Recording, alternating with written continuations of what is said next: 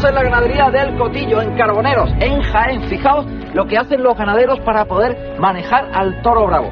¿Veis esta puerta? Parece una puerta para que pase una persona. Sin embargo, es para que pasen los toros. Ven, Edu, es tan estrecha para que el mayoral pueda apartar a los toros de uno en uno. Es decir, para que no entren todos de golpes y pasen a este enorme cerrado. ¿Veis?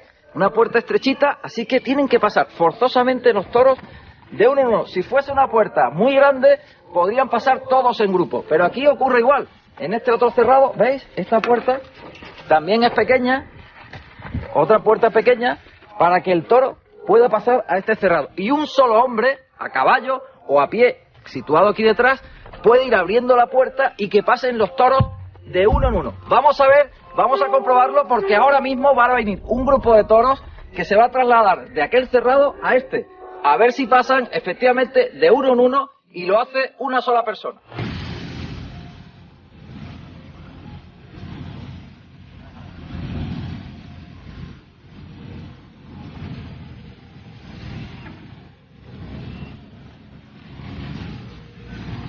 Ahí están los toros, hay que manejarlos, no es nada fácil.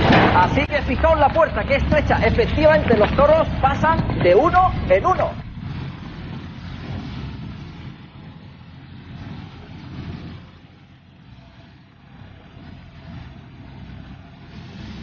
Y eso le permite al ganadero o al mayoral o al vaquero apartar al toro más fácilmente. Va dejando pasar y cuando no quiere que pase uno, simplemente le cierra la puerta o se interpone en el camino.